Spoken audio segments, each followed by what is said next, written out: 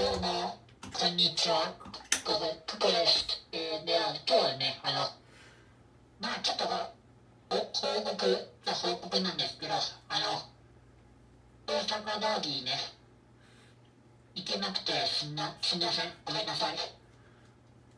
まあちょっとあの、他のね、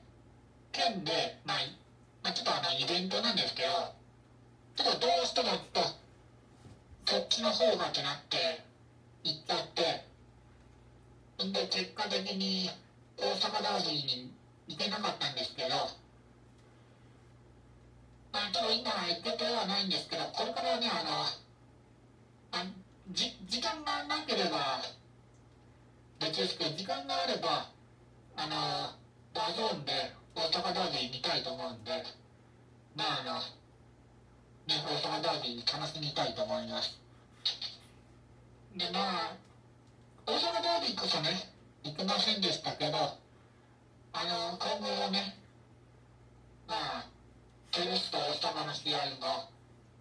ガンバ大阪の試合も、で、まあ、あと、大阪ダービーとは違いますけど、まあ、あの、ディステル神戸、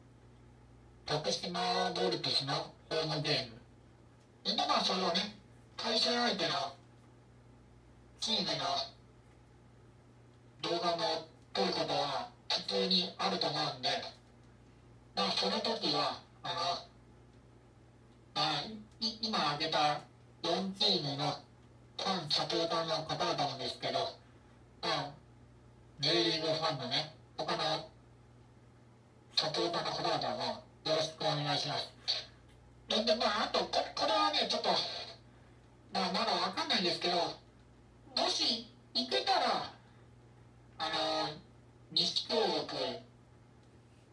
今、今、今ちょっと名前変わりましたね。ちょっと、頭に出てこないんですけど、あの、京都サンガのね、あの、ホームゲームを、もし行けたら行けたいと思うんで、その時はあの、サンバサポーターの皆さんもよろしくお願いします。えー、では、以上ね、あの、ご報告でした。ご視聴ありがとうございました。